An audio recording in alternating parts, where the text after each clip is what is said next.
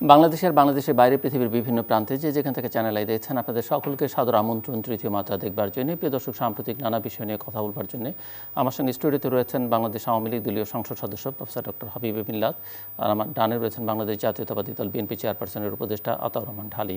স্বাগত আপনাদের দুজনকে তৃতীয় মাত্রায়। আমরা যদি নির্বাচনের ফলাফলের প্রসঙ্গ বাদও দিই তাহলে কুমিল্লায় হয়ে যাওয়া যে সিটি কর্পোরেশন নির্বাচন, এটি বর্তমান নির্বাচন কমিশনের অধীনে প্রথম নির্বাচন যে কোনো কোনো ধরনের।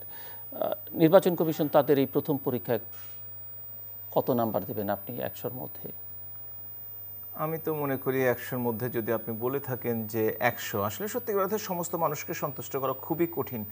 তবে আমি বলব এটা খুবই ভালো নির্বাচন হয়েছে এবং নাম্বারটি আমার মনে হয় আমাদের যখন ছোটবেলায় ছিলাম, স্টার লেটার মার্ক ছিল সেগুলোর চেয়ে অনেক বেশি পাবে আসলে।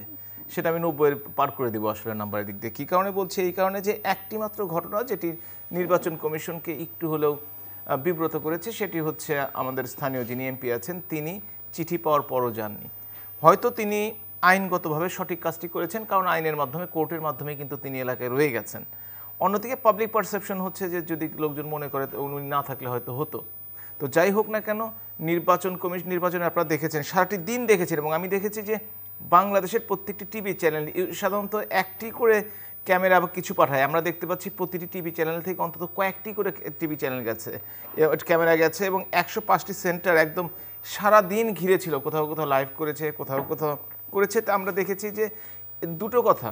একটি হচ্ছে ইভিএমের জন্য ভোটটা একটু স্লো হয়েছে। তারপরে ষাট ভাগের মতো বা ষাট ভাগের বেশি ভোট পড়েছে, সেটি অবশ্যই একটা আলোচনা। আরেকটি হচ্ছে সকাল থেকে বৃষ্টি হচ্ছিল। সেই বৃষ্টিটাও সকাল নয়টা থেকে বৃষ্টি হচ্ছিল, সেই বৃষ্টিটাও একটু বাধাগ্রস্ত করেছে। তবে মহিলা ভোটারদের উপস্থিতি, পুরুষ ভোটারের উপস্থিতি এবং এমনকি বয়স্ক মানুষদের উপস্থিতি এই নির্বাচনকে প্রাণবন্ত করেছে, কোনো সন্দেহ নেই। এবং আমি মনে করি যে নির্বাচন কমিশন তাদের দিক দিয়ে তাদের দায়িত্বটি সঠিকভাবে পালন করেছে এবং তারা একটা অভিজ্ঞতা অর্জন করল যে আরও কীভাবে সুন্দরভাবে নির্বাচন করা যায়। আমি তো ভাবছি যে এই নির্বাচন কমিশন যেভাবে নির্বাচনটি পরিচালনা করেছে, তাতে তাদেরকে আসলে পুরা মার্কি দিয়ে দেওয়া যায়। আমি রহমান ঢালি। আপনি কত দেবেন একশোতে না মার্ক তো ওনার থেকে আমি বেশিই দেব কম দেব না। হ্যাঁ, উনি যা দিয়েছেন তার চেয়ে আমি বুঝেই। তাহলে তো আপনাকে ওই একশোর উপরে চলে যেতে হবে হয়তো। তো এই কারণে দিচ্ছি যে এটা আসলে স্থানীয় নির্বাচন সরকার পরিবর্তনের নির্বাচন নয়। তো কাজেই এইখান এই ধরনের নির্বাচনে অনেক ক্ষেত্রে একটা দুইটা নির্বাচনে সরকারের হস্তক্ষেপ না করলেও চলে। কেন এটা সরকার পরিবর্তন না। আমি ক্রেডিট দিব তখনই যখন সরকার পরিবর্তনের নির্বাচনে একটি নির্বাচন কমিশন মেরুদণ্ড যখন উনি খাড়া করে দাঁড়াবে, তখনই আমি তাকে ক্রেডিট দিব। তারপরও আমি বলি, একটা ক্ষুদ্র নির্বাচন হইলেও তারা, তাদের যে প্রচেষ্টা ছিল, আন্তরিকতা ছিল, এটাতে আমার কোনো তারা ধন্যবাদযোগ্য। এটা আমি বলব। তবে এটা দিয়ে সার্বিক নির্বাচন বিচারের প্রশ্নই ওঠে না, কারণ এটাতে আওয়ামী লীগের একটা মতো বিশাল দল ক্ষমতায় আছে সুপার মেজরিটি নিয়ে। একটা দুইটা পৌরসভার মেয়র তাদের মানে জনগণকে যদি দেখায় যে এখানে আমরা ক্ষমতায় থেকে ফেয়ার ইলেকশন করতে পারি এটাতে আওয়ামী লীগের কিচ্ছু আসে যায় না।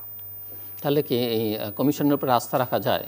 বা প্রথম পরীক্ষায় প্রথম ধাপে তারা পাশ করল এইটা দিয়ে এইটা দিয়ে আস্থার বিষয় না। হ্যাঁ এই এই এইটা দিয়ে আস্থার বিষয় না? তাদের শুরু ভালোই করেছে কিন্তু মূল আস্থা হইল যে যখন সরকার পরিবর্তনের ঘটনা আসবে বিভিন্ন চাপ আসবে এটাতে তার চাপ ছিল না। বিভিন্ন চাপ যখন আসে এই চাপগুলি কীভাবে মোকাবেলা করে? যেমন দেখেন ইভিএম এর ব্যাপারে বিরোধী দল ইভিএম চাচ্ছে না। যেদিন হ্যাঁ, উনি কিন্তু এর আগেও ইভিএম নিয়ে সন্দেহ ছিলেন প্রথম প্রধান নির্বাচন কমিশন হবে কিনা। কিন্তু যেদিন আওয়ামী লীগ বলল, ইভিএমে ইলেকশন করব, সেদিন থেকে কিন্তু ওনার সুর আবার পরিবর্তন হতে থাকল। তো এ দিয়ে বোঝা যায় উনি কতটা চাপ করতে পারবেন কিনা। আবার এই যে নির্বাচন কমিশনে দেখেন সমস্ত কমিশনারদের মিটিং হয়েছে। সেই মিটিংগুলোতে আমি ধন্যবাদ জানাই এই নুরুল হুদা সাহেবকে। উনি অকপটে এতদিন পরেও জাতির বিশাল ক্ষতি করার পরেও ওনার হাতে জাতির যে বিশাল ক্ষতি হয়েছে নির্বাচনী ব্যবস্থার তারপরে উনি বলছেন যে এই যে স্বীকার করছেন অবচেতনে রাতের ভোট হয়েছে এবং বিরোধী দলের পার্টিসিপেশন ছাড়া এই নির্বাচন কোনোদিনই গ্রহণযোগ্য হইতে পারে না। কিন্তু উনি কিন্তু ওনার সেই নির্বাচন এনা গ্রহণযোগ্য হয়েছে কি না এখন ওইটা উনি উত্তর দিতে পারবে। হ্যাঁ? তো এগুলো হয়তো অনেক সময় হয় এখন সরকার থেকে বেরিয়ে আসছে। হ্যাঁ তারপরে আপনার দল আসলে কি ধরনের সিদ্ধান্ত নেবে নির্বাচন কমিশনের এই পারফরমেন্সের পরে? আমরা তো অলরেডি সিদ্ধান্ত নিয়েই আসছি আমরা তো কোনো নির্বাচন কমিশনকে আমরা কোনো ফ্যাক্টর মনে করি না।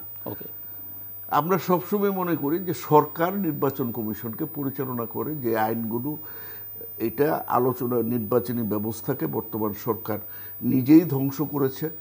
এবং তারাই এই সরকার থাকলে এটা সরকার পরিবর্তনের জন্য যে জাতীয় সরকার তারা এটা জেনে বুঝেই তত্ত্বাবধায়ক সরকার বাতিল করছে। তারা ওই কোর্টের দোহাই দেয় আর এইটার দোহাই দেও তারা ক্ষমতায় থাকার জন্যই এটা বাতিল করছে। অথচ এই দাবি ছিল তাদের প্রধান দাবি এবং তাদের আর অন্যতম দাবি ছিল আরেকটা বগুড়ার নির্বাচনকে তারা দেখাইছে। কিন্তু এখন তো সারা তিনশো সিটি বগুড়া। বগুড়া না মাগুরা? মাগুরা। বগুড়াকে তারা উদাহরণ হিসেবে আসলে ঢাকা এই সিটটা দুইটা সিটে দেখাইছে যে সরকার থাকলে তত্ত্বাবধায়ক ছাড়া নির্বাচন হয় না ওই সময় তারা এটা নিয়েই আন্দোলন করছে। তো এখন তারা যখন ক্ষমতায় আসলো এটা পরিবর্তন করল তারা ক্ষমতায় থাকার জন্য। এখন তো তিনশো সিটি মাগুরা স্টাইল হয়ে গেছে। সো আওয়ামী লীগ যদি ক্ষমতায় থাকে বিএনপি সেই নির্বাচনে অংশ নেবে না। অবশ্যই না। এটা বিএনপির এখনকার পর্যন্ত as of today this is the decision of BNP সিদ্ধান্ত পরিবর্তিত হতে পারে। আওয়ামী লীগ পরিবর্তন করলে পরিবর্তন হতে পারে না? না আওয়ামী লীগ করল না। আওয়ামী লীগ সেক্ষেত্রে আমাদের সমস্ত পারিপার্শ্বিকতা দেখব বাট অ্যাজ অফ টুডে আমরা মনে করি না এই সরকারের অধীনে। হ্যাঁ কোনো ধরনের সুষ্ঠু পার্টিসিপেটরি নির্বাচন হতে পারে। প্রফেসর হাবিব মিল্লাত আসলে মর্নিং শোজ দ্য ডে আমরা জানি যে সকালের সূর্যোদয় দেখলে বুঝতে পারি দিনটি কেমন যাবে। তো আজকে নির্বাচন সবসময় সেটি ঠিকও হয় না। সবসময় ঠিক হয় না কিন্তু অধিকাংশ দিন ঠিক হয়। অধিকাংশ সময় ঠিক হয়। এ, কখনোই কোনো কিছুই আসলে অ্যাবসোলুট বলে কিছু নাই আসলে। আর একটা কথা যে স্থানীয় সরকার সম্বন্ধে অনেকেই বলেন স্থানীয় সরকার কিন্তু সরকার পরিবর্তনের নির্বাচন নয়। কথাটা যেমন সত্য আবার এটাও সত্য যে স্থানীয় সরকার যদি কোনো দল স্থানীয় সরকারের প্রভাব বিস্তার করতে পারে, নির্বাচনে জিততে পারে, তাহলে কিন্তু তাদের প্রভাবে পরবর্তীকালে কিন্তু সরকার তারাই গঠন করে। কারণ এরাই সহযোগিতা করে নির্বাচনের সময় সহযোগিতা সরকার গঠন করার জন্য। এখন কথা হচ্ছে যে, আসলে বিএনপি যে কোনো স্ট্যান্ড নিয়েছে, কি নিয়েছে সেটা তারা বলেছে আসলে সত্যিকার অর্থে যে, শেষ মুহূর্তে তারা কি করবে তারা আসলেই জানে না। কারণ হচ্ছে তাদের নেতৃত্ব নেতৃত্ব নিয়ে এই একটা সমস্যা আছে। আমি মাগুরা কিংবা মিরপুরের নির্বাচন বলব না, আমি বলব যে বিএনপির যে শুরু থেকে যে নির্বাচন হয়েছে, অতীতের ইতিহাস টানার ইচ্ছা আজকে আমার ছিল না। প্রথমত নির্বাচন না করেই প্রথমে ক্ষমতায় আসা, পরবর্তীতে হা না ভোট করা, পরবর্তীতে আর্মিতে থাকা অবস্থায় উনআশির ভোট করা, সে সমস্ত হিসাবে আমি যাব না, কারণ ওগুলো হচ্ছে অগণতান্ত্রিক সরকার যারা সংবিধানকে স্থগিত করে নির্বাচনে আসে সংবিধানকে তারা কোনো ধর্তব্যের মধ্যে গ্রহণ করে না। বাংলাদেশ আওয়ামী লীগ এখন পর্যন্ত কোনো নির্বাচন ছাড়া ক্ষমতায় আসে নাই, তাদের সে ইচ্ছেও নেই কোনো দিন এখন কথাটা হচ্ছে যে সংবিধান, আমরা অবশ্যই আগামী নির্বাচন নয়, প্রত্যেকটি নির্বাচন যদি গণতান্ত্রিক পন্থায় করতে চান, আর যদি আবার ওয়ান ইলেভেনের মতো অনির্বাচিত সরকার নিয়ে আসতে চান কিংবা তত্ত্বাবধায়ক সরকার নিয়ে আসতে চান, তখন তারা কি করবে, তারা সংবিধানে কী করবে সে সম্বন্ধে আমি বলতে পারব না। তবে আমার মনে হয় না বাংলাদেশের জনগণ সেগুলো আর মেনে নিবে। কারণ এই যে তত্ত্বাবধায়ক তত্ত্বাবধায়ক, অনির্বাচিত সরকারের কথা বলা হয় তিন মাসের জন্য ক্ষমতায় এসে আমরা দেখেছি দুই বছরও ক্ষমতায় থেকে গেছে। আমরা দেখেছি শুধু আমাদের নেত্রী না, আপনাদের নেতৃত্বেও কিন্তু তারা তারা জেলে যেতে বাধ্য করেছিল। এটা কিন্তু অস্বীকার করার কোনো উপায় নাই। এবং সাথে সাথে এটাও ঠিক যে তারা আবার এই ক্ষমতাকে দশ বছর পর্যন্ত এক্সটেন্ড করার জন্য চেষ্টাও করেছিল। সুতরাং জনগণ যাদের সাথে থাকবে, আপনি বলেন যে মাগুরা এবং মিরপুরের নির্বাচনের জন্য আমরা উদাহরণ দিয়েছি, কিন্তু আমরা জনগণকে সাথে নিয়ে আন্দোলন করে বাধ্য করেছি নির্বাচন দেওয়ার জন্য এবং নির্বাচনের পরবর্তীতে জয়ী হয়ে এসছি আমরা। কিন্তু আপনারা এক মুখে বলেন, কিন্তু কোনো আন্দোলনে এমন কিছু করতে পারেননি যাতে সরকার বা আওয়ামী লীগ মনে করবে, না, তারা তো বেশ শক্তিশালী, তারা তো বেশ জনগণ তো তাদের সাথে আছে। এমন কিছু হয়নি এখন পর্যন্ত। সুতরাং জনগণ যাদের সাথে থাকবে, তারাই নির্বাচনে জিতবে এবং জনগণ যারা থাকবে, তারাই আন্দোলনে জিতবে যদি তাদের সাথে থাকে। সুতরাং আমরা মনে করি মুখে যত কথাই বলি না কেন, বিভিন্ন সময় বাজেট বিভিন্ন সময় মেগা দুর্নীতি মেগা প্রজেক্টের কথা আপনারা বলেন, আমরা শুনতে শুনতে কান ঝালাপালা হয়ে গেছে। কিন্তু আজকে পর্যন্ত কোনো শ্বেতপত্র, কোনো লিখিত কিছু নেই। শুধু টকশোতে শুনি, সাংবাদিক সম্মেলনে শুনি। এবং জনগণ এই কান দিয়ে শুনে ওই কান দিয়ে বের হয়ে যায়। বলে শুনি তো, কিন্তু দেখি না তো। জনগণ আসলে সিইং ইজ বিলিভিং দেখলে বিশ্বাস করে। শুনলে কিন্তু মানুষ খুব একটা বিশ্বাস করে না। আরেকটি কথা যে নুল হুদা সাহেব যে নির্বাচন সম্বন্ধে কথা বলেছেন, তিনি তো একদম পীর পয়গম্বরের মতো কথা বলেছেন। যে এইটা হলে ভালো হতো, ওইটা হলে ভালো হতো। আপনি যখন দায়িত্বে ছিলেন, আপনি যখন ক্ষমতায় ছিলেন, আপনি যখন নির্বাচন পরিচালনা করেছেন, আপনি হয় ভালোভাবে করবেন না হয় পদে থাকবেন না। আপনার নির্বাচনের সময় শেষ হওয়ার মানে আপনার দায়িত্বের সময় শেষ হওয়ার, এক ঘণ্টার আগেও তো আপনি মন্তব্যটা করেননি। কিংবা এক ঘণ্টা আগেও তো আপনি বলেননি, না, আমার পক্ষে আর সম্ভব না। আসলে পরবর্তীতে কি পাওয়া যাবে, অনেকে আছে না যে একটু বিরোধী বিরোধী ভাব করলে অনেক সুযোগ সুবিধা পাওয়া যায় তিনি সেই সুযোগ সুবিধা আবার দ্বিতীয়বার নেওয়ার চেষ্টা করছেন কিনা জানি না, তবে আমার মনে হয় না যে আওয়ামী লীগ সরকার এই ধরনের লোককে দ্বিতীয়বার আর কোনো সুযোগ দিবে। সুতরাং নির্বাচন কমিশন অবশ্যই একটি বড় ফ্যাক্টর কারণ প্রত্যেকটি গণতান্ত্রিক দেশে, প্রত্যেকটি দেশে যেখানে নির্বাচন হয়, কমিউনিস্ট কমিউনিস্ট দেশের কথা বলি না, সে বা যে দেশে একদলীয় শাসন আছে সেই দেশের কথা বলি না। যে দেশে গণতান্ত্রিক সরকার প্রতিষ্ঠিত হলে নির্বাচন কমিশনকে অবশ্যই নির্বাচন কমিশন প্রয়োজন আছে এবং শক্তিশালী নির্বাচন কমিশন প্রয়োজন আছে। এবং এই যে যে নির্বাচনটি দিয়ে শুরু হলো কুমিল্লাতে আপনি দেখেন তাদের প্রত্যক্ষ প্রভাবে ছোটোখাটো এবং আওয়ামী লীগের ক্যান্ডিডেটকে বলতে হয়েছে যে আমার কর্মীদের বেঁধে নিয়ে গেছে আমার কর্মীদের প্রশাসন প্রহার করেছে। এই ধরনের কথা তাদেরকে আহ, আহ, আহত করেছে। এই ধরনের কথা কিন্তু তারা বলেছে। তার অর্থ হচ্ছে আমি জানি না দোষ কতটুকু করেছে কিন্তু নির্বাচন কমিশন থক্ত থাকলে যে এই ধরনের নির্বাচন করা সম্ভব হয়, সেটা অবশ্যই আমরা দেখতে পাচ্ছি। আর তত্ত্বাবধায়ক সরকার সত্যিকার অর্থে ইতিহাস ইতিহাসের মধ্যে থেকে অনেকেই ফিরে আসে, কিন্তু তার জন্য একটি সকলের ঐক্যমতের প্রয়োজন আছে। তবে বাংলাদেশ আওয়ামী লীগের পক্ষ থেকে আমরা তো আর কেন্দ্রীয় মুখপাত্র নেই, কেউ নেই। আমরা যা পার্টি লাইন বুঝি যে এটা যারা মারা গেছে, তাদেরকে আর ফিরিয়ে আনা সম্ভব হবে না। হয়তোবা সাংবিধানের আলোকে যে সরকারটি এর আগে অতীতেও প্রস্তাব দেওয়া হয়েছিল, এই ধরনের হয়তো কিছু হতে পারে যে দু চারজন মন্ত্রী কাউকে দিয়ে তারা যদি নির্বাচনে আসতে চায়। আরেকটি ঘটনা আছে এর মধ্যে নির্বাচন নিয়ে।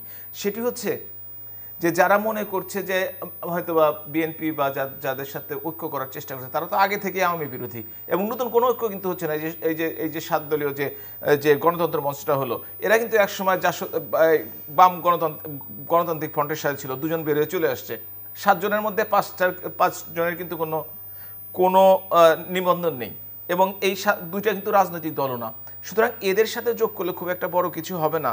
যে কাজটি হবে সেটি হচ্ছে যে যে সমস্ত জনপ্রিয় নেতাদের বিভিন্ন এলাকা থেকে, রাজশাহী, খুলনা বরিশাল কুমিল্লা, এইভাবে যদি আমি দেশে বলতে থাকি, তাহলে জনপ্রিয় নেতাদের যাদেরকে দূরে সরিয়ে দেওয়া হচ্ছে, তারা এই মইনুল হক সাক্কুর মতো তারা নির্বাচন করবে এবং নির্বাচনে সকলেই অংশগ্রহণ করবে। আর যখন তারা অংশগ্রহণ করা শুরু করবে কাউ- কেউ আসলে পিছনে থাকবে না। সকলে নির্বাচনে অংশগ্রহণ করবে বলে আমরা দৃঢ় বিশ্বাস করি। আপনার মিস্টার ঢালি। এই আশাবাদকে স্বাগতই জানাই কিন্তু এই আশা পূরণ হবে না।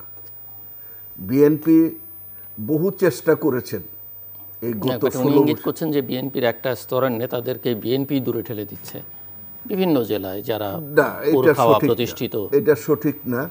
আমাদের পার্টির পুনর্গঠনের কাজ মানে সাংগঠনিক পুনর্গঠনের কাজ চলছে, এগুলির কারণে কাউকে তো দূরে সরে দেওয়া হয়নি, কেউ তো দূরে সরে যায় নাই।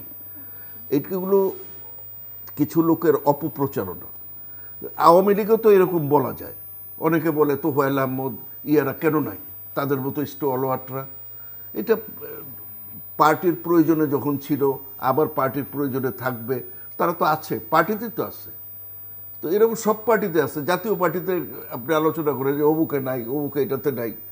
এগুলো আসলে আমাদের রাজনৈতিক চায়ের কাপ গরম করার রাজনীতি হ্যাঁ? সবচেয়ে বড় জিনিস যেটা দেখেন যে আওয়ামী লীগ বহু চেষ্টা করেছে বিএনপিকে ভাঙার। বিএনপিকে ভাঙতে পারেনি। পারে নাই বলেই আজকে দেখেন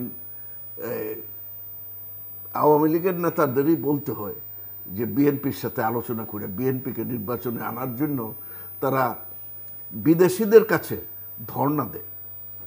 তাহলে বিএনপি আন্দোলন করতে পারে নাই। বিএনপি যদি নাই পারে, আপনাদের এত পপুলারিটি গ্রামগঞ্জে, একটা ফেয়ার ইলেকশন দেন তো, দেওয়ার সাহস কেন আপনাদের নাই? এটা ফ্রি অ্যান্ড ফেয়ার ইলেকশন দেওয়ার সৎ সাহস আওয়ামী লীগ হারায়ে ফেলেছে। কারণ জানে ফ্রি ফেয়ার ইলেকশন হলে আওয়ামী লীগ কত পার্সেন্ট সিট পাবে? এটা আওয়ামী লীগের নেতারাই ভালো জানে। টকশোতে এসে বলতে পারে, দলের স্বার্থ- অনেক কথাই বলে, কিন্তু বুকে হাত দিয়ে বলুক, আওয়ামী লীগ কয়টা সিট পাবে? যদি এই দেশে free fair without interference election হয় বিএনপিকে কেউ ঠেকানোর মতো কোনো ক্ষমতা নেই। এটা আওয়ামী লীগ ভালো করে জানে। ওবায়দুল কাদের হুঁশিয়ারি কইরা দেয় যে বিএনপি আসলে পাঁচ লক্ষ ভয় দেখায় কর্মীদেরকে যদি কর্মীরা ইউনাইটেড থাকে বিএনপির এগেনস্টে কারণ Awami League is not united Awami লীগের প্রত্যেক দিন দেখেন আওয়ামী লীগের প্রত্যেক জায়গায় শুধু ছাত্রলীগ ভার্সেস যুবলীগ বা ছাত্রলীগ ভার্সেস ছাত্রলীগ গোলাগুলি সেই প্রত্যেক হাতাহাতি দিনই তো আছে সেই হাতাহাতি তো বিএনপির মধ্যেও হচ্ছে। আমাদের হাতাহাতি আছে ছিল। হ্যাঁ, ওনাদেরও আছে। কিন্তু ওনারা এটা চাপাই দিতে যায় বিএনপির উপরে। নো বিএন আগে নিজেদেরটা দেখেন। তারপরে বিএনপির উপরে চাপান। ওনারা আওয়ামী লীগ কখনোই নিজেরটা কখনো দেখে না, দেখতে চায় না। নিজের দোষ অন্যের উপরে চাপানোতে সবচেয়ে কৌশলী দল হচ্ছে আওয়ামী লীগ বাংলাদেশে। এই ব্যাপারে আমি আওয়ামী লীগকে মানে ই দিই, কৃতিত্ব দিই। মানে নিজের সমস্ত দোষ, নিজের সমস্ত অপকর্ম অপর উপরে চালানো। আমাদের দোষ হলো আমরা নাকি ক্যান্টনমেন্ট থেকে আসছি। আর আওয়ামী লীগ এই পর্যন্ত দেখেন এরশাদের সাথে গোপনাতা আমরা করিনি। আর্মির সাথে গোপনাতা এই পর্যন্ত আওয়ামী লীগের রেকর্ড আমাদের না। এবং লাস্ট ওয়ান ইলেভেনের পরে আর্মির সাথে আতাত করে ক্ষমতায় আসছে, এটা তো আপনার প্রণব মুখার্জি সাহেব তার বইয়ে লিখেই গেছে অ্যালায়েন্স ইয়ার্স তারপরে তাদের পররাষ্ট্র সচিব সুজাতা সিং এখানে এসে প্রকাশ্যে যে তাদের কীভাবে ক্ষমতায় আনতেছে। তো এই যে জিনিসগুলো এটা যদি অন্য দল করতো, তাহলে কিন্তু দুনিয়াদারি মানে এত অপবিত্র হইতো, যেহেতু আওয়ামী লীগ করছে, এটা পবিত্র। আওয়ামী লীগ করলেই মুক্তিযোদ্ধা, রাজাকার হইল। এই যে আওয়ামী লীগের এই জিনিসটা, এইটা তাদেরকে পরিত্যাগ করা উচিত। আর বিএনপিকে ওনারা সত্য কথাটা বলেন না কেন, যে হ্যাঁ বিএনপির লোকে আমাদের ফাইট হবে। বিএনপিকে বলেন যে বিএনপি পারবে না, বিএনপি আন্দোলন করে নাই। বিএনপি আন্দোলন করছে বলেই আপনাদের এখন কিন্তু প্রতিদিন দুঃস্বপ্ন দেখতে হয়। প্রতিদিন একটা মন্ত্রী নাই, একটা আওয়ামী লীগের কর্মী নাই। বক্তৃতা ঘটনা একুশে ফেব্রুয়ারি ঘটনা এটা, ওইটা বাদ দিয়ে প্রথমে বক্তৃতা শুরু করে বিএনপি নিয়ে। তাহলে ভয়টা কি? বিএনপি যদি কোনো এদেশের রাজনীতিতে কোনো ফ্যাক্টর না হয় বিএনপি যদি একটি শক্তিশালী অবস্থান গ্রামগঞ্জে না থাকে তাইলে ওনাদের এত দুঃস্বপ্ন দেখে বিএনপিকে বাদ দিয়েই কথা বলেন না। আর বিএনপিকে বাদ দেয় ইলেকশনে গেছেন, আপনার এটা অ্যাকসেপ্টেড হয়নি, কারও কাছেই হয়নি। আবারও যদি করেন, সেটাও অ্যাকসেপ্টেড হবে না। এবং আমার বিশ্বাস, সামনে বিএনপিকে ছাড়া বাংলাদেশে আওয়ামী লীগ নির্বাচন করতে পারবে না। সম্ভব নয়। কারণ ইলেকশন বি আজকে দেশ বিদেশ, এক সুরে গাথা। আগে ভিন্নতা ছিল, এখন দেশ বিদেশে এক সুর বাধা। যারা আমাদের মানে ডেভেলপমেন্ট পার্টনার তারাও বলতেছে ইলেকশন শুড বি পার্টিসিপেটরি এবং দেখেন, বিদেশিদের রিপোর্ট দেখেন, আজকে খালেদা জিয়ার মামলা, যে মিথ্যা মামলা, এটাও তারা বলছে। আমি, আমাদের, আমার নেত্রী আজকে অসুস্থ। কখনো ভালো, কখনো খারাপ, বয়স হয়েছে, তার উপরে তার উপরে যে ধরনের তাকে মানসিক টর্চার করা হয়েছে। এখনও এটা বেগম খালেদা জিয়া আপোষের নেত্রী বলে এখনও সেই টর্চার সহ্য করে মাথা উঁচু করে দাঁড়ায় আছে। মাথা উঁচু করে। কারও কাছে মাথা নোয়ানের ব্যক্তি বেগম খালেদা জিয়া না। এরশাদের কাছে আওয়ামী লীগের মতো মাথা নত করে নেই। ওয়ান ইলেভেনের যারা সেদিন ক্ষমতায় আসছে তাদের কাছে মাথা নত করে নেই। জি প্রফেসর হাবিব মিল্লাত আসলে সত্যিকার অর্থে মাথা উঁচু করার যে কি অর্থ সেটা আমি বুঝতে আমার খুব কষ্ট হয়। কোনো পার্টির দ্বিতীয় সর্বোচ্চ নেতা যদি মুচুলিকা দিয়ে দেশ ছেড়ে চলে যায় এবং কোনোদিন রাজনীতি করব না, এই ধরনের মুচলিকা দেয়, তাহলে কতটুকু মাথা উঁচু থাকে আমি আসলে বুঝতে পারি না। অবশ্য মাথা উঁচুর ডেফিনিশন সংজ্ঞা বিভিন্ন লোকের কাছে বিভিন্ন। পার্টির প্রধান নেত্রী যদি দরখাস্ত করে বাসায় থাকার সুযোগ পান, সেটা কীভাবে মাথা উঁচু করে হয় আমি আসলে বুঝতে পারি না, মাথা উঁচুর অর্থ কী? আমি মাথা উঁচুর অর্থ বলি, বুঝি যে কেউ বিরোধিতা করলে, দুর্নীতির অভিযোগ আনলে নিজের অর্থায়নে পদ্মা সেতু করা। আমি অর্থায়ন বঙ্গবন্ধু দ্বিতীয় রেল সেতু করা। আমি মনে করি কর্ণফুলি টানেল করা। আমি মনে করি রূপপুর পারমাণবিক বিদ্যুৎ করা। মাথা উঁচু করে দুনিয়া জানা। আমি স্যাটেলাইট আকাশ দিয়ে ঘুরবে আমাদের বাংলাদেশের। এটা হচ্ছে মাথা উঁচু করে থাকা এবং সিটমহল দখল করা ইন্ডিয়ার কাছ থেকে। এইটা হচ্ছে মাথা উঁচু করে চলা সমুদ্র সীমা দখল করা, ইন্ডিয়া, মিয়ানমারের কাছ থেকে এইটা হচ্ছে মাথা উঁচু করে চলা। আর মাথা উঁচু করে চলা যদি কারও দরখাস্ত লিখে মুচু লোকে দিতে হয়, সেটা সম্বন্ধে আমি আসলে কোনো কিছু করব না। আর আমরা যারা আছি, বিদেশ নির্ভর না হই, নিজের জনগণের উপর আস্থা রাখি, কোন দেশের কোন রাষ্ট্রদূত কি বললেন, তাতে সেই রাতে ঘুমটা ভালো হলো, কিন্তু আসলে জনগণ কতটুকু আপনাদের ঘুম ভালো রাখবে সেটা কিন্তু জানার দরকার আছে। আপ, কেউ কেউ বলছে যে কোনো নির্বাচন কারও কাছে অ্যাকসেপ্টেড হয় নাই। আজকে একটানা আওয়ামী লীগ তেরো বছর ক্ষমতায় তাই সাড়ে তেরো বছর। দুটো নির্বাচন নিয়ে কোনো কথা হয়েছে। তারপরও ইন্টারন্যাশনাল যে অর্গানাইজেশনগুলো আছে, আমি ইন্টারন্যাশনাল পার্লামেন্টারি ইউনিয়ন বলি। চোদ্দ সালের নির্বাচনের পরে সাবের ভাই কিন্তু সেটার প্রেসিডেন্ট হয়েছিলেন। সারা পৃথিবীতে যত পার্লামেন্ট আছে তার। আপনি যদি সিপিএ ধরে নেন কমনওয়েলথ পার্লামেন্টারি অ্যাসোসিয়েশন আমাদের স্পিকার ডক্টর শিন শামির চৌধুরী তার চেয়ারম্যান হয়েছিলেন। আপনি যদি গতকালকেও দেখেন, এই যে আমাদের যিনি নিউ ইয়র্কে পিয়ার ছিলেন, রুবা ফাতেমা, তিনি কিন্তু আন্ডার সেক্রেটারি পদমর্যাদা দিয়ে জাতিসংঘে কাজ করার সুযোগ পেয়েছেন। মাথা উঁচু করার একটা কথা অ্যাকসেপ্টেন্সের আর একটি কথা। হ্যাঁ কোনো কোনো ত্রুটি তো থাকবেই। এই যে আমরা দেখতে পাচ্ছি বেসরকারিভাবে যে নির্বাচনগুলোর ফলাফল ঘোষণা করা হচ্ছে হয়তো কোনো পারফেক্ট না হান্ড্রেড পার্সেন্ট পারফেক্ট আমরা আসলে আশা করতে পারি না। তারপরেও আরেকটা কথা যে আসলে আমরা অবশ্যই কৃতিত্ব অনেককে অনেকে না দিতে পারি, কিন্তু না করে কৃত, কৃতিত্ব নেওয়ার মধ্যে কোনো আসলে গৌরব আছে বলে আমি মনে করি না। এই ধরুন পদ্মা সেতু নিয়ে কথা বলছিলাম। আপনাদের পার্টির মহাসচিব একসময় বলেই ফেললেন যে প্রথমে বললেন যে উদ্বোধন, পরে বললেন না ফাউন্ডেশন স্টোন ভিত্তিপ্রস্তর দিয়েছিলেন বেগম খালেদা জিয়া। এবং আপনাদেরই আবার সেই সময় যিনি যোগাযোগ মন্ত্রী, তিনি টেলিভিশনে স্পষ্ট করে বলে দিলেন, না, এই ধরনের কিছু হয়নি সেই সময়। সুতরাং যেটা করেননি, সেটার কৃতিত্ব নিয়েন না। যতটুকু করেছেন, তার কৃতিত্ব নেন। আমরা বলতে পারি, বাংলাদেশের উন্নয়নে আওয়ামী লীগের সময় যেটা হয়েছে, এই এর সাথে তুলনা করতে কেউ পারবে না। তারপরে যদি দু একটা ভালো কাজ অন্য কোনো দল করে থাকে, তাদের সে শুধু সমালোচনা না করে সেগুলো বলা দরকার আছে। আর আর্মির সাথে আতাত করার আসলে তো বিএনপির দরকার নেই। কারণ আর্মি থেকেই তো বিএনপির তৈরি। আতাত করবে কেন? তারা তো একাত্তা। আতাত করবে যারা, যাদের কেউ নেই, আশেপাশে কেউ নেই হয়তো বা একটু বন্ধুত্ব করার চেষ্টা করে। বন্ধুত্ব মানেই তো আতাত। আর যারা যারা তৈরি হয়েছে ক্যান্টনমেন্ট থেকে, যারা একজন জেনারেল যেটা জেনারেল থাকা অবস্থায় যে দলটি তৈরি করেছে, তারা আতাত করার দরকার নেই। তারা তো আত্মীকরণ করে নিয়েছে। সুতরাং এই নিয়ে বিএনপি নিয়ে কে বক্তৃতা কেন করা হয় জানেন? আসলে দেখবেন যে যদি ওই অনেকে আমরা সিঁদুর দেখলেও ভয় পাই, আকাশে মেঘ দেখলেও ভয় পাই, কী জন্য পাই? কারণ অতীত ইতিহাস তো আসলে ভালো না। আমরা তো দেখেছি যখন যারা ক্ষমতায় ছিল, তখন ওই ছবি লাগানো নিয়ে গোলাগুলি হতো ইউনিভার্সিটিতে তখন সাত খুন হয়ে যেত ইউনিভার্সিটিতে কেউ খোঁজ খবর রাখার চেষ্টা করতো না। তারপরে যদি আমরা নির্বাচনের সময় দেখে থাকি, নির্বাচন করে, ছিয়ানব্বই নির্বাচন করে, সেই নির্বাচনে টিকে থাকতে পারল না, জনগণের চাপে ছেড়ে দিতে হলো মাত্র কয়েকদিনের ব্যবধানে। দু হাজার চোদ্দ সালে নির্বাচন কেউ যদি গণতান্ত্রিক দেশে কেউ যদি চায় সে নির্বাচনে অংশগ্রহণ নাও করতে পারে, কিন্তু প্রতিহত করার কথা বলে মানুষ পুড়িয়ে মারার ইতিহাস যে বাংলাদেশে সৃষ্টি হয়েছে, এই যে মানুষ যারা মরে গেছে, আল্লাহ তাদের ভেস্তবাসী করুক, তারা হয়তো বেঁচে গেছেন, কিন্তু burn unit Dhaka medical college সারা বাংলাদেশে যে সমস্ত রোগীদের দেখতে গেছি, তাদের ওই পোড়াক মাংসের গন্ধ, তাদের যে দুর্বিষহ জীবনযাপন তাদের প্রত্যেকটি নিঃশ্বাসের সাথে এখন পর্যন্ত এই যে যারা করেছে অগ্নিসন্ত্রাস সেই বিএনপি জামাতের বিরুদ্ধে তাদের অভিশাপ দেয়, এই জন্যই বিএনপি জামাত কিন্তু দাঁড়াতে পারছে না মানুষের অভিশাপের কারণে। সুতরাং আমরা মনে করি বিএনপিকে আমরা অবশ্যই ভয় পাই, কোনো সন্দেহ নেই। কারণটি হচ্ছে তারা রাজনৈতিক বদলে সন্ত্রাসের সংস্কৃতি চালু করেছে বাংলাদেশে।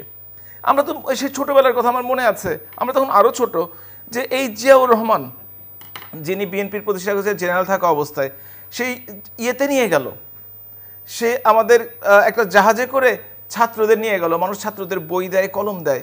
আর কেউ যদি টাকা দেয় পিস্তল দেয় ছাত্র সন্ত্রাসী গ্রুপ তৈরি করে ফেলে সেই সন্ত্রাসী তো শুরু হয়েছে আগেও ছিল সন্ত্রাস জিয়াউর রহমানের সময় নতুন করে সন্ত্রাস শুরু হলো। সুতরাং এই জন্য জনগণ শুধু আওয়ামী লীগ না, জনগণও ভয় পায়।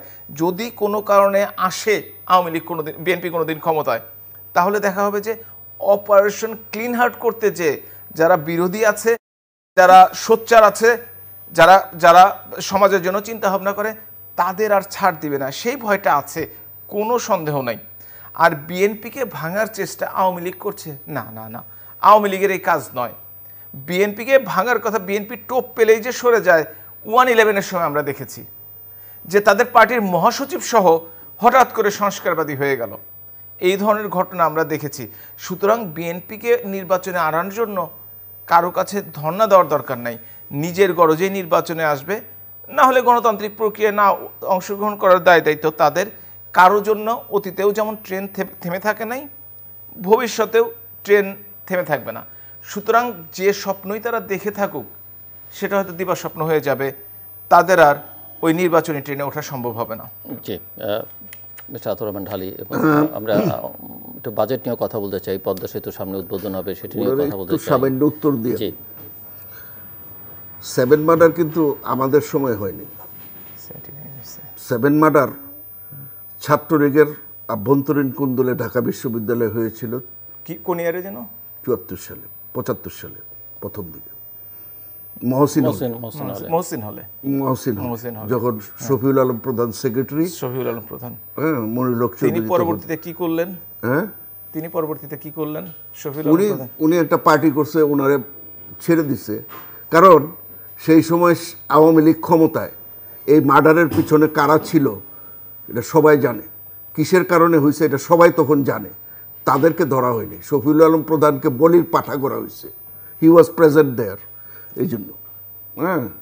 কিন্তু বলির পাঠা করে শফিউল আলম প্রধানরে মানে খুনি বানাই দিছে। কিন্তু যারা খুন করাইলো তাদেরকে ধরা যায়নি। যেমন মানে আমাদের আমাদের দেশের বিভিন্ন সময়। তারপরে আপনারা বললেন নির্বাচনের তো তিয়াত্তর সালে আপনারা প্রথম শেষ করছেন। তিয়াত্তর সালে। এবং আপনারাই খন্দকার মোস্তাকের সিটটা তিন দিন পরে ডিক্লারেশন হয়েছে ঢাকায়। তো খন্দকার মুস্তাকরে তো আপনারা আয়ু দিয়েছেন। তো জানি না যদি সেদিনের সেই ঘটনা আপনারা না ঘটাইতেন, ওই পঁচাত্তরের এই পনেরোই আগস্টের মতো দুঃখজনক, মর্মান্তিক ঘটনা হয়তো নাও ঘটতে পারত। কিন্তু সেই আয়ু তো আপনারাই দিছেন। তা আপনারা আমাদেরকে বলতেছেন, গান পাউডারে বিআরটিসির বাস, এগুলো তো আপনাদের, আপনারাও করেছেন। আপনারা মামলা তুলে নিছেন, আমরা ক্ষমতায় আছেন, মামলা তুলে নিছেন, আমরা তো আর পারি না। তো কাজে এগুলি নিয়ে আমি আসলে অতীতের আমাদের কি আছে, না আছে, এগুলি আলোচনায় আনতে চাই না। আপনার বাদ, সিরাজ সিকদারের মতো লোককে যে মহান মুক্তিযুদ্ধ ছিল, তাদেরকে মেরে আপনারা পার্লামেন্টে দাঁড়ায় বলতে পারেন, কোথায় সিরাজ সিকদার এই তো আপনারা, গণতন্ত্রের কথা বলেন। যাক, আমি এই সমস্ত আলোচনায় যেতে চাই না। এটা শেষ করে যদি বাজেটের বাজেটের প্রসঙ্গে আসেন। কেমন হলো বাজেট? আর আমি মানে পদ্মা সেতু সম্পর্কে উনি বললেন অনেক কথা। না আমি ধন্যবাদ দিই প্রধানমন্ত্রীকে পদ্মা সেতু উনি করেছেন। কিন্তু উনি আবার যেটা বলেন আমার মনে হয় অসত্য কিছু আছে। সেটা হলো যে আমাদের নিজস্ব অর্থায়নেই সব করেছেন। আমার মনে হয় না বিষয়টা সঠিক না। এক এখানে সাপ্লায়ার ক্রেডিট ক্রেডিট আছে মনে হয়। কারণ বিদেশি যে সমস্ত কোম্পানি এখানে কাজ করেছে, তাদেরকে আপনি পেমেন্ট করছেন কীভাবে? তো বা করবেন কীভাবে? সেখানে একটা মানে এক ধরনের সাপ্লায়ার ক্রেডিট মানে কি? এই টাকাটা আমাকে দিতে হবে।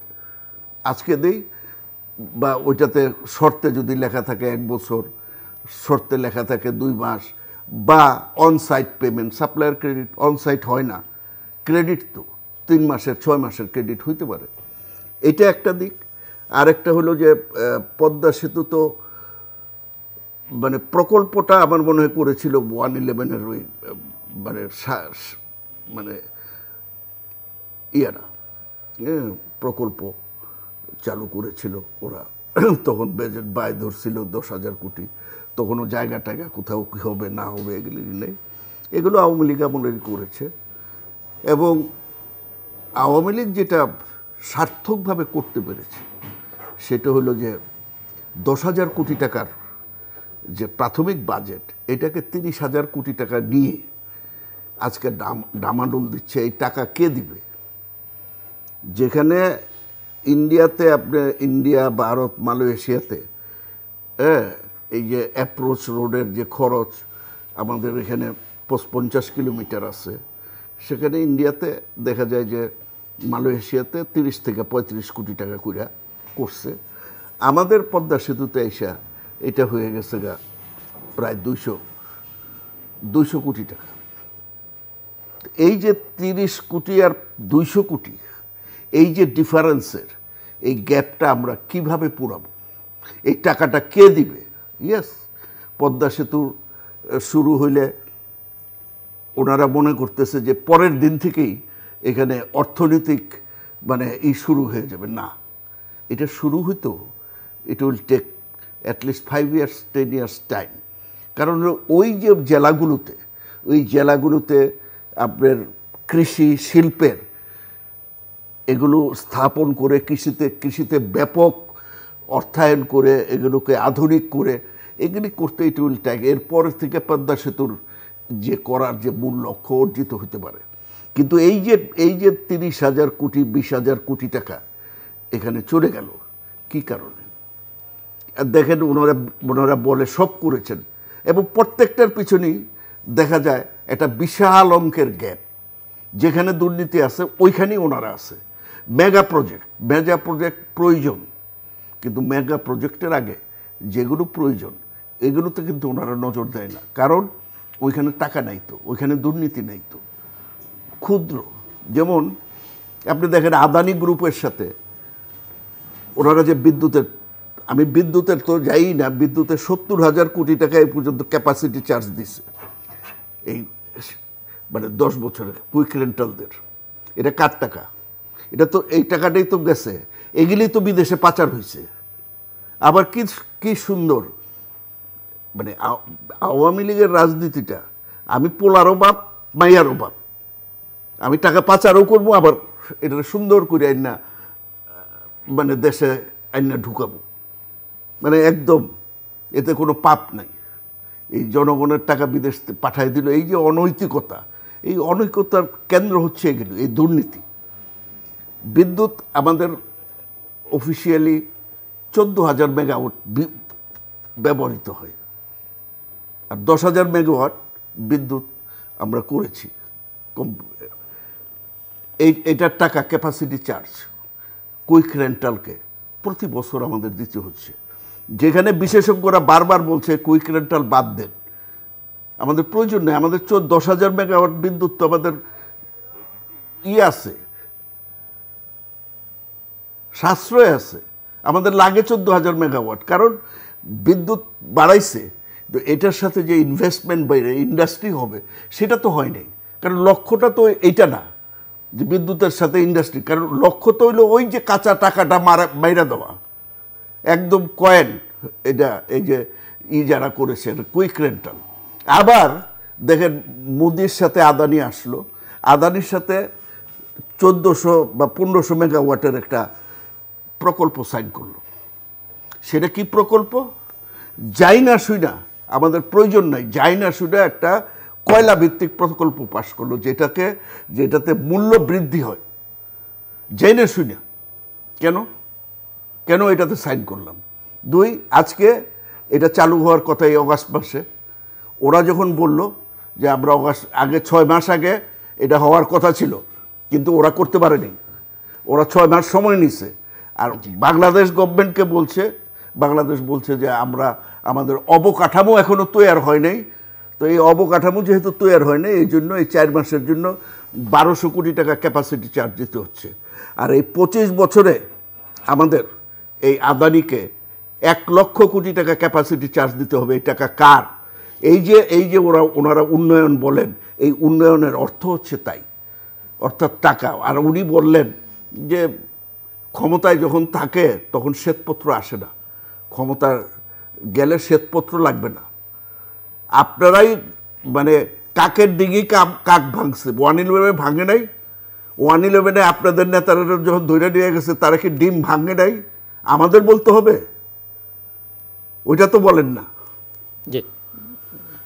তারপরে আমি আরেকটু মিনিট শেষ করি। আজকের যে বাজেটে কোনো দেখেন সোশ্যাল নেটের যে আমাদের ই নাই, যে এই যে আজকে উনি বলতেছে যে কোভিড পরবর্তী, বাজেটের নাম হচ্ছে কোভিড পরবর্তী উন্নয়নের গতিশীলতা, এই তো?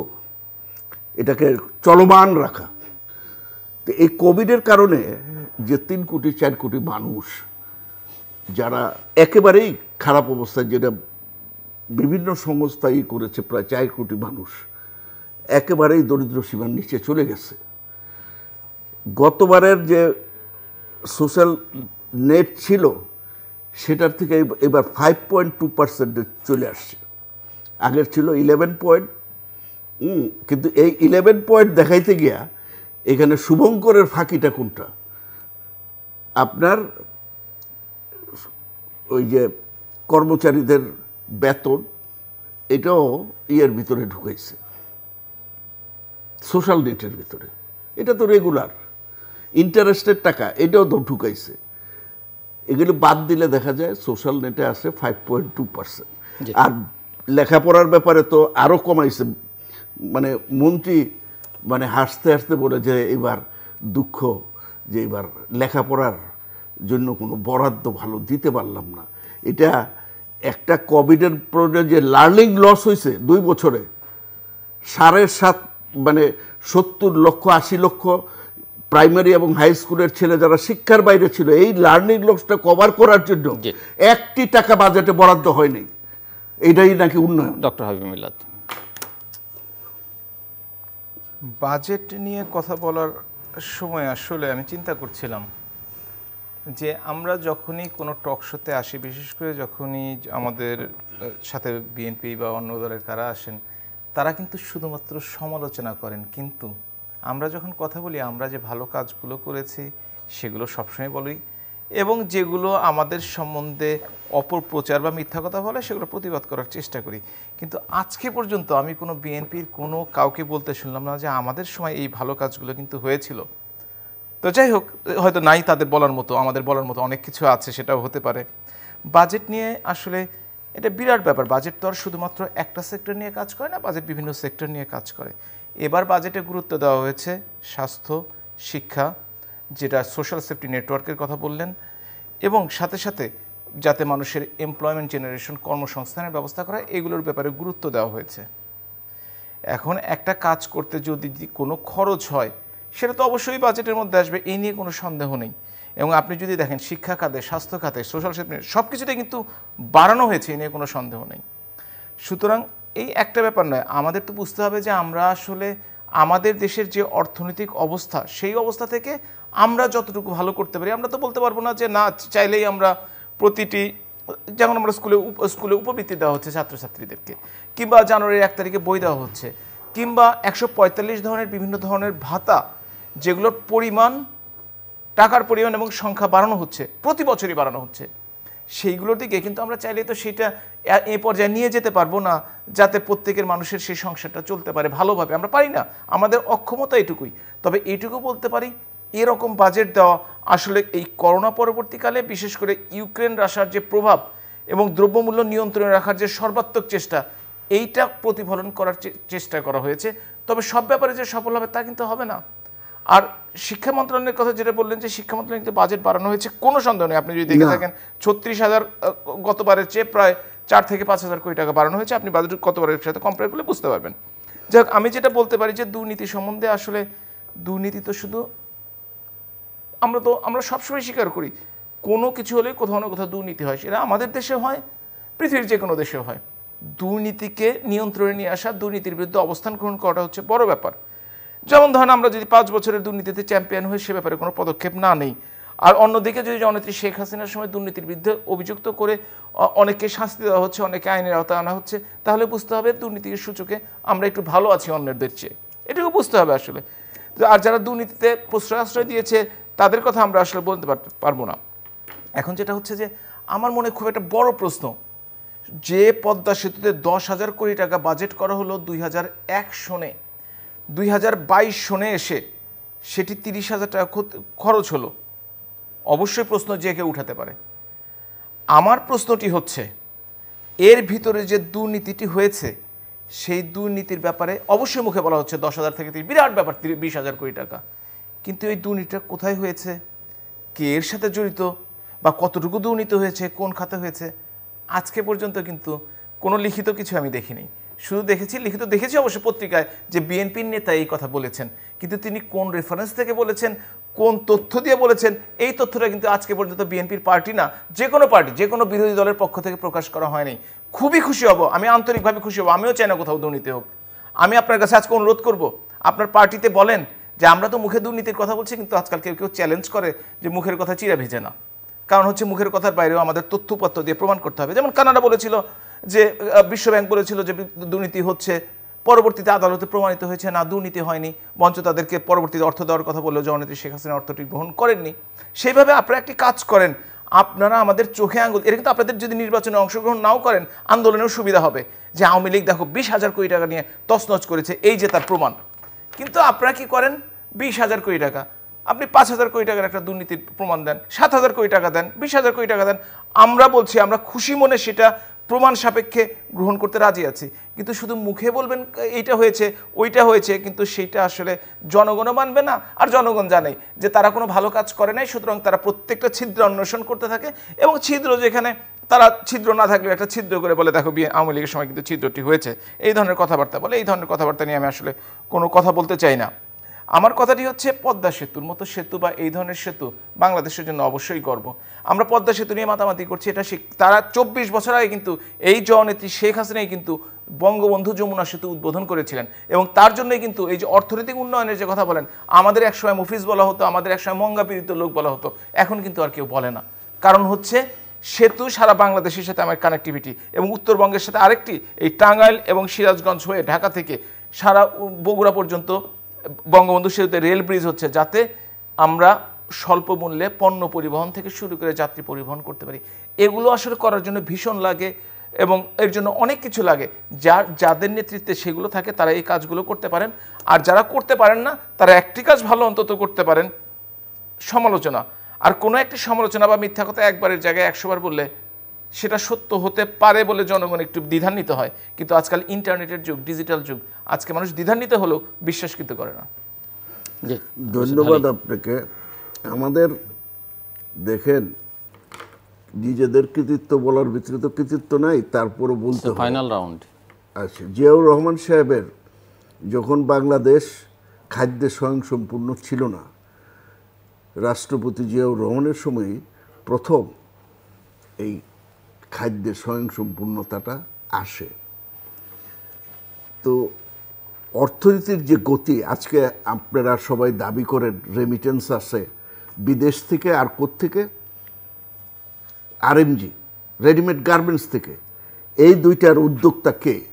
Whose idea was this this is president Shahid president Ziaur Rahman যে প্রথম এই বিদেশে বাংলাদেশের শ্রম শ্রমিকদের পাঠাইছে, প্রথম গার্মেন্টসের অনুমতি উনি দিয়ে এটাকে আগায় নিয়ে গেছেন। আজকে এটা নিয়ে আমরা বিলিয়ন বিলিয়ন ডলার আজকে রেমিটেন্স আসে। এটার কৃতিত্ব ডেফিনেটলি শহীদ প্রেসিডেন্ট জিয়াউর রহমানের। আজকে বলেন এই যে একুশে পদক বলেন, কেস করছে। আপনারা তো সাড়ে তিন বছর ক্ষমতায় ছিলেন স্বাধীন হওয়ার পরে। স্বাধীনতা পুরস্কার। আপনারা কিন্তু ওই ওই সাড়ে তিন বছরে করেন নাই। জিয়াউর রহমান এটা করে গেছেন। এই যে অ্যাচিভমেন্ট এই অ্যাচিভমেন্ট বিএনপির যদি আরও ধরেন, এগুলি বহু বলা যায়। হ্যাঁ একটা দল ক্ষমতায় থাকলে ভুলভ্রান্তিও থাকতে পারে। আমি তো অস্বীকার করি না যে বিএনপির ভুলভ্রান্তি ছিল না। এর যে কোনো দলই হান্ড্রেড পার্সেন্ট সঠিক বলে কোনো দল নেই। বাট বিএনপি আজকে আপনারা বলেন যে এই যে, এই ছিটমহল কিন্তু এটা নিয়ে আপনারা দেখেন এই ফারাক্কা নিয়ে যদি জিয়াউর রহমান সেদিন আন্তর্জাতিক অঙ্গনে না যেত, তাহলে ভারতের সাথে সেই মিনিমাম চুক্তিটাও করা সম্ভব হতো না। ভারত কোনো চুক্তিতেই আসেনি। আমাদেরকে জিজ্ঞেসও করেন এই ফারাক্কা চালুর সময়। আবার যখন দেখেন তালপট্টিতে ভারত দখলে আসলো তখন একমাত্র যে তখন বাংলাদেশ আর্মি, নেভি একটা না দুইটা গানবোট আছে। সেই গান, দুইটা গানবোট ছিল তখন নেভি সেই দুইটা গানবোট নিয়েই সেই ইন্ডিয়ার ইন্ডিয়ার গানবোটকে তাড়া করেছে জিয়াউর রহমান। এই যে স্বাধীনতা সার্বভৌমত্ব রক্ষায় ওনার যে অতন্ত্র আবার এই যে অর্থনীতি উনি ব্যক্তিগতভাবে জিয়াউর রহমান হ্যাঁ অত্যন্ত অনেস্ট লোক ছিলেন এই ব্যাপারে কারও কোনো সন্দেহের কোনো অবকাশ নেই। জিয়াউর রহমানকে ভুল বোঝা হয়। জিয়াউর রহমান বলছে I will make politics difficult yes Ziaur Rahman এটা বলেছেন। হ্যাঁ বলেছেন। কি কারণে? ওনার তো নিজে খাওয়ার জন্য না, জিয়াউর রহমানের দুর্নীতি করার জন্য না, বাংলাদেশের জন্য উনি বলেছিলেন এবং তাই তো করেছিলেন উনি। উনি জীবিত থাকলে তাই হতো। উনি এই যে বিদেশে লোক পাঠাইছে, এই যে গার্মেন্টস ইন্ডাস্ট্রি শুরু করছে, এটার ফলটা তো উনি দেখে যায়নি। এখন ফল খাচ্ছি আমরা। উনি এটা করে গেছেন। আজকে দেখেন, জিয়াউর রহমান একমাত্র রাষ্ট্রপতি, যে বাংলাদেশের ছাপ্পান্ন হাজার গ্রামের ভিতরে দশ হাজার গ্রামে ঘুরছেন উনি। এবং কেন বলেছিলেন I will make politics difficult কারণ এই পলিটিক্সকে ড্রয়িং রুমে বন্দি করা হয়েছিল। জনগণের কাছে যাওয়া হতো না। যেমন আমাদের মরহুম শেখ মুজিবুর রহমান, বঙ্গবন্ধু, ওনার সৌভাগ্য হয় নাই মুজিবনগর সরকারের ওই মাটিতে যাওয়ার। সাড়ে তিন বছরে উনি যান নাই। যেখান থেকে আমরা স্বাধীনতার ঘোষণা এসেছে মুজিবনগর সরকার থেকে, সেই জায়গাটা তো অবশ্যই একটি ঐতিহাসিক বাংলাদেশের হৃদয়ের সাথে সম্পর্কিত। উনি যেতে পারেননি সময়ের অভাবে। কিন্তু জিয়াউর রহমান সাড়ে দশ হাজার গ্রামে ঘুরেছেন, কৃষকের সাথে হাত মিলিয়েছেন, কৃষকদের ঘরে ভাত খেয়েছেন এবং খাদ্যে স্বয়ংসম্পূর্ণতা এনেছিলেন জিয়াউর রহমান। এবং ওনাদের জন্য জিয়াউর রহমান পলিটিক্স ডিফিকাল্ট করেছিলেন এবং কৃষক শ্রমিকেরদেরকে এই রাজনীতিতে এগিয়ে আসার কত নতুন লোককে উনি রাজনীতিতে নিয়ে আসছেন। জিয়াউর রহমান বিশ্বাস করতেন, শত ফুল ফুটতে দাও। এই কারণেই উনি রাজনীতিকে অবাধ করেছেন। উনি বাকশালের মতো একদল করেন এই একদলকে ভেঙে উনি সবার জন্য রাজনীতি উন্মুক্ত করেছেন। উনি গণমাধ্যম, যে গণমাধ্যমকে কুক্ষিগত গণমাধ্যমকে টুটি টিপে ধরা হয়েছিল, কবে কালো দিবস? সাংবাদিকরা পালন করে আজও, সব সাংবাদিকরাই পালন করে। সেই গণমাধ্যমকে যেদিন টুটি টিপা ধরা হয়েছিল এই জিয়াউর রহমান এসা গণমাধ্যমের সেই স্বাধীনতা দিয়েছে। এবং এই যে বহুদলীয় গণতন্ত্রের কথা আমরা বলি আপনারা আজকে আওয়ামী লীগ চর্চার কথা বলেন এটা জিয়াউর রহমানের অবদান। আপনারা তো বহুদলীয় সংস্কৃতিতে বিশ্বাস করেন না। শেষ করতে হবে। আর আপনারা যে বাকশাল করেছিলেন বাকশাল তো একেবারেই যদি এটা নিয়ে আমার সাথে কোনোদিন বসতে হয় আমি ডকুমেন্টস দিয়ে দেখাতে পারব। ভবিষ্যতে প্রফেসর হাবিব হ্যাঁ। আমার একটা নুরুল ইসলাম শিশু সেই সময় জিয়াউর রহমানের সাথে ছিলেন। তিনি একটা বই লিখেছেন। তিনি লিখেছেন জিয়াউর রহমানকে যখন বক্তৃতা দিতে বলা হতো তখন তিনি হাত পা ছুটতেন কেমন যেন আমাদের পছন্দ হতো না। তখন চিন্তা করে দেখলাম জিয়াউর রহমান কি পারে। তো বললেন যে উনি হাঁটতে পারেন। তাহলে আমরা তাকে বুদ্ধি দিলাম। যে উনি গ্রামে গ্রামে হেঁটে বেড়াক, কথা না বললেও গ্রামে গ্রামে হেঁটে বেড়াক, তাতেও কিছুটা জনপ্রিয়তা বাড়বে। তাই জন্যই হয়তো দশ হাজার হোক, পাঁচ হাজার হোক গ্রামে গ্রামে ঘুরেছেন। আর বাকশাল সম্বন্ধে যখন কথা হয় সত্যিকার অর্থে বাকশালের অনেক সমালোচনা আছে। কিন্তু জিয়াউর রহমান কিন্তু বাকশালের সদস্য হওয়ার জন্য লাইনে দাঁড়িয়েছিলেন এবং বাকশালের সদস্য হয়েছিলেন। যাই হোক সেসব কথা তো অতীত, অতীতের কথা না বললে অতীতের কথা যখন মনে করিয়ে দেন, তখন এই কথাগুলো মনে পড়ে। দ্বিতীয়টি হচ্ছে, শ্রমবাজারের কথা যদি আমি মনে পড়ি, আমার চাচারা, আমার মামারা কিন্তু এই জিয়াউর রহমানের মানে স্বাধীনতা যুদ্ধের আগে দেশের বাইরে গেছেন যারা রেমিটেন্স পাঠিয়েছেন। এইটা রেমিটেন্সটা কেউ শুরু করে নাই। রেমিটেন্স শুরু করেছে এবং আগে যদি চিটাংয়ের কথা ধরে থাকেন কিংবা সিলেটের কথা ধরে থাকেন, সিলেটের হাজার হাজার মানুষ লন্ডনে যে স্থাপনা করেছে, স্বাধীনতা যুদ্ধের পূর্ব এবং পরবর্তীকালে। চিটাংয়ের যদি নাবিকদের কথা বলে থাকেন, আমেরিকায় গেছে, তারা কিন্তু ওই জিয়া রহমানের নির্দেশ দেন তখন জিয়া রহমানের কেউ চিনত না। সুতরাং শ্রমবাজার, মধ্যপ্রাচ্যে মানুষ যেত, কম বেশি সব সরকারের সময় গেছে। সেই নিয়ে গর্ব করার কিছু নাই। আর যদি গার্মেন্টসের কথা বলে থাকেন গার্মেন্টসের কথা যদি আপনি রপ্তানিটা বলে থাকেন, শুরু কি? একটা স্বাধীন সার্বভৌম বাংলাদেশে বিভিন্ন ধরনের ব্যবসা হবেই। এবং তত, তখন কত টাকা রপ্তানি হয়েছে? আর আমাদের সরকারের সময় কত টাকা রপ্তানি হয়েছে এবং ক্রমান্বয়ে কীভাবে পেরেছে সেইটা তুলনা করে দেখতে হবে আসলে। এটাতে বেশি যাই হোক তবুও কিছুটা পেরেছেন যে হ্যাঁ কিছু একটা কাজ শুরু করেছিল। আমি খুবই খুশি হয়েছি। আরও খুশি হয়েছি যে তালপট্টির জন্য মাত্র দুইটা গানবোট ইন্ডিয়ার দিকে ধাওয়া করেছিল।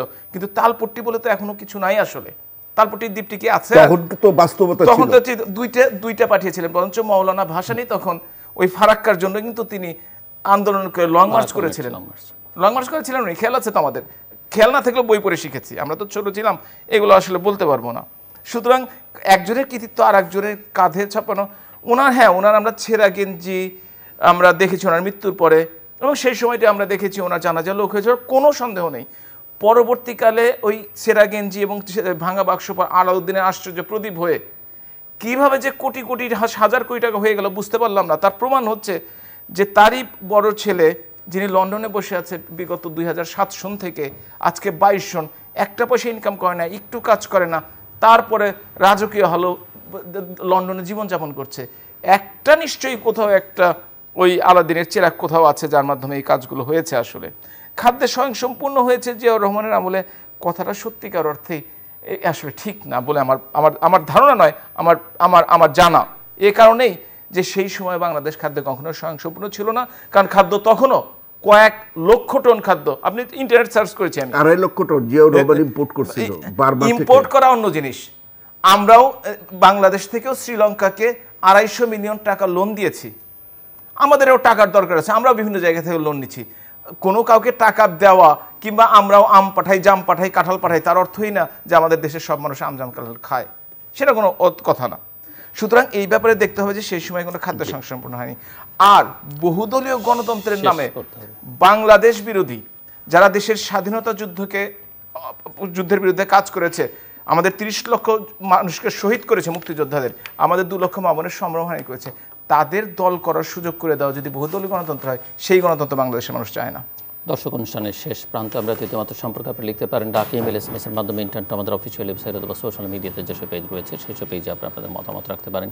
আর আপনার আপনাদের মতামত আমাদের অনুষ্ঠান তৃতীয় মাত্রা আপনি দেখতে পাবেন প্রতি বৃহস্পতিবার এবং শুক্রবার বাংলাদেশ সময় রাত দুটোই সোমবার সকাল সাড়ে এগারোটা এবং শুক্রবার দুপুর দেড়টায় দেখবার আমন্ত্রণ নিল তৃতীয় মাত্রায় পর্বটি আপনি সামাজিক যোগাযোগ মাধ্যম ফেসবুক এবং টুইটারে সরাসরি দেখতে পারেন। ফেসবুক টুইটারে তৃতীয় মাত্রা লাইভ স্ট্রিমিং হচ্ছে। টেলিভিশনের পর্দায় দেখতে না পারলে যে কোনো সময় যে কোনো স্থান থেকে ইউটিউবে তৃতীয় মাত্রার চ্যানেলটি সাবস্ক্রাইব করে এই পর্ব বা পুরনো পর্বগুলো আপনি দেখতে পারেন। মিস্টার আতর ভান্ডারি এবং প্রফেসর হাবিবুল্লাহ অসংখ্য ধন্যবাদ আলোচনা শোনার জন্য। দর্শক সব কথার মূল কথা হচ্ছে যে জনগণের জয় হোক, জনগণের কল্যাণ হোক এবং জনগণের স্বার্থেই সব কিছু হোক এবং মানুষের অধিকার প্রতিষ্ঠিত হোক, সেটি ভাতের অধিকার হোক আর ভোটের অধিকার হোক, এক মানবাধিকার হোক, সেগুলো প্রতিষ্ঠিত হোক এবং মানুষ যেন স্বস্তিতে, শান্তিতে থাকতে পারে। এর জন্য অবশ্যই গণতান্ত্রিক প্রক্রিয়াকে আরও শক্তিশালী করতে হবে এবং জনগণের অংশগ্রহণকে নিশ্চিত করতে হবে রাজনৈতিক প্রক্রিয়া অর্থনৈতিক প্রক্রিয়ায় এবং উন্নয়ন প্রক্রিয়ায় দর্শক আমাদের সঙ্গে থাকবার জন্য অসংখ্য ধন্যবাদ। আপনাদের সবার জন্য শুভকামনা।